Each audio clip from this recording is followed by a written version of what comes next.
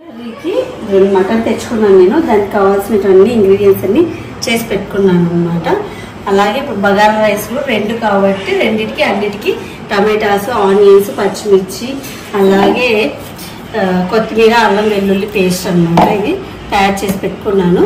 Chicken mutton మనకు తొందరగా ఉడకదు కాబట్టి నేను ఫస్ట్ కొంచెం ఉప్పు పసుపు వేసేసి కుక్కర్లో బాయిల్ చేసుకుంటాను. ఆ తర్వాత మనం దాని ప్రాసెస్ అనేది చూద్దాము. అలాగే మన ఛానల్ని చూస్తున్నారు కానీ సబ్స్క్రైబ్ చేయట్లేదు లైక్ చేయండి షేర్ చేయండి కామెంట్ చేయండి.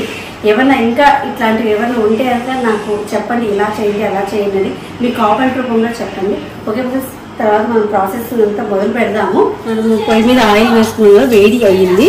ఇప్పుడు దీంట్లోకి జీలకర్ర ఇవన్నీ దినుసులన్నీ వేసుకుందాము. తర్వాత మనం కోసి పెట్టుకున్నాము కదా అవన్నీ అదే కరివేపాకు కొత్తిమీర అల్లం ఇవన్నీ మనము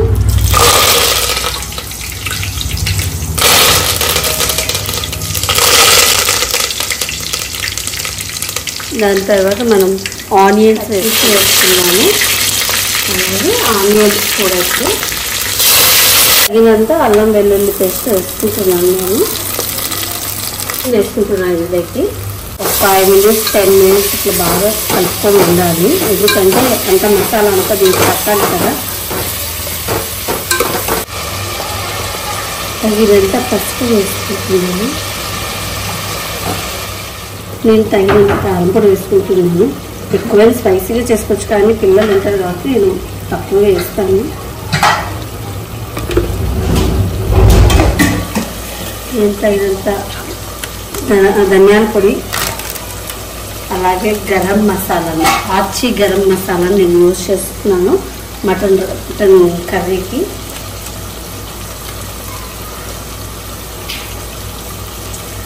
ఆ తర్వాత ఆచి మటన్ మసాలా కూడా యూజ్ చేస్తున్నాను నేను.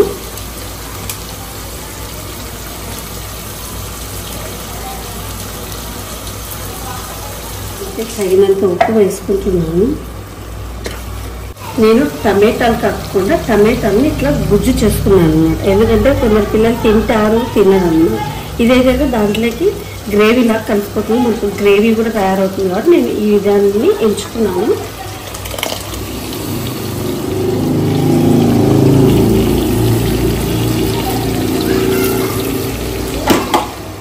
నేను గుజ్జు కోసం గ్లాస్ వాటర్ వేసుకున్నాను.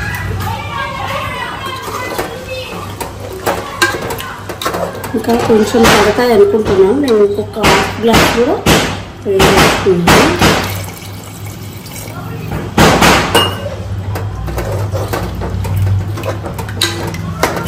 ఓకే అండి మనం ఎంత చేసుకున్నాం కదా. ఆ తర్వాత కుక్కర్ మీద పెట్టి ఒక five whistles five or six whistles పెట్టేస్తామంటే ready అయిపోతుంది. ఆ తర్వాత మనం బగారా రైస్ రెడీ చేసుకుందాం అనేసి. ఓకేనా? ఓకే. అన్నీ పెట్టుకున్నాం కదా సంసిద్ధం చేసుకున్నాము. మనకు తగినంత ఆయిల్ కొంచెం టూ త్రీ మినిట్స్ హీట్ చేసుకున్న తర్వాత ఆయిల్ని మనము ఇక్కడ ఇక్కడ అన్నీ పెట్టుకున్నాము కదా. ఇవన్నీ మసాలా దినుసులన్నీ ఇవన్నీ దాంట్లోకి వేసి మనము కొంచెం రోస్ట్ చేసుకోవాలన్నమాట ఫస్ట్ రోస్ట్ చేసుకున్న తర్వాత మళ్ళీ ఆ తర్వాత ఆనియన్స్ టమాటాస్ పచ్చిమిర్చీస్ అల్లం వెల్లుల్లి పేస్ట్ ఇవన్నీ మనం వేసుకోవాలి. మసాలా దినుసులను వేసుకున్నాము కరివేపాకు వేసుకున్నాము ఆ తర్వాత కొంచెం ఈ పచ్చిమిర్చి కరిగాయి కదా ఈ పచ్చిమిర్చి అన్నీ వేసేసుకుందాం. కొంచెం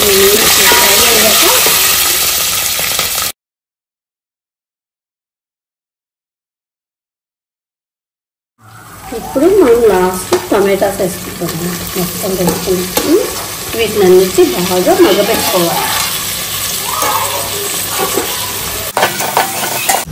కొంచెం నేను టేస్ట్ కోసం అనేసి కొంచెం ధనియాల పొడి వేసుకుంటున్నాను. ఈ గ్లాస్తో నేను ఒకటిన్నర గ్లాస్ రైస్ తీసుకున్నాను కాబట్టి ఒక గ్లాస్కి మనకు టూ గ్లాసెస్ వాటర్ వేయాలి.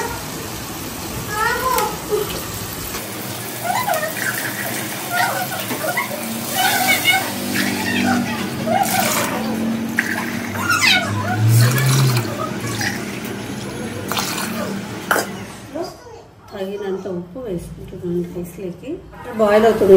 దాని తర్వాత మనం ఈ రైస్ అంతా మనం ఎన్ని కప్పుల బియ్యం తీసుకుంటే మనము దానికి ప్రతి కప్పు టూ గ్లాసెస్ చొప్పున ఇది కొలత అన్నమాట. ఎందుకంటే రైస్ పొడిగా రావటానికి దానికి యూజ్ అవుతుంది. లేదంటే ముద్దగా అయిపోతుంది అనమాట మన హోటల్లో ఎలా ఫ్రైడ్ రైస్లో ఎలా వస్తాయి అనేది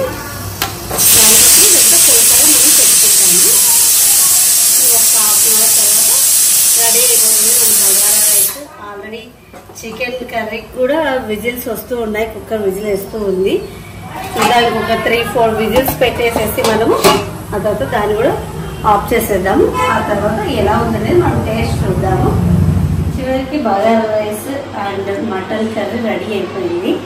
మనం ఇప్పుడు నేను ప్లేట్లకు ఆల్రెడీ తీసి పెట్టుకున్నాను అనమాట చూస్తున్నారు కదా this is the bagara rice and mutton curry. ఇవి రెండు ఎలా ఉన్నాయో టేస్ట్ చేసి చెప్తాను.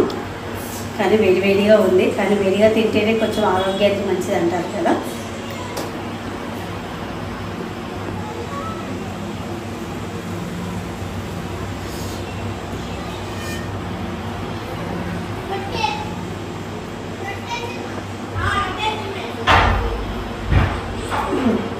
అన్నీ సరిపోయాయి. ముక్క కూడా ఎలా ఉడికిందనేది కూడా చూద్దాం మనము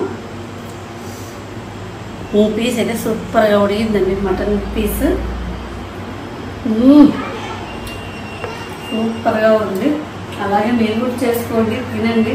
కామెంట్ రూపంలో పెట్టండి ఎలా ఉందనేది. అలాగే మన ఛానల్ని చూస్తున్నారని సబ్స్క్రైబ్ చేయట్లేదు. Please subscribe and share like comment.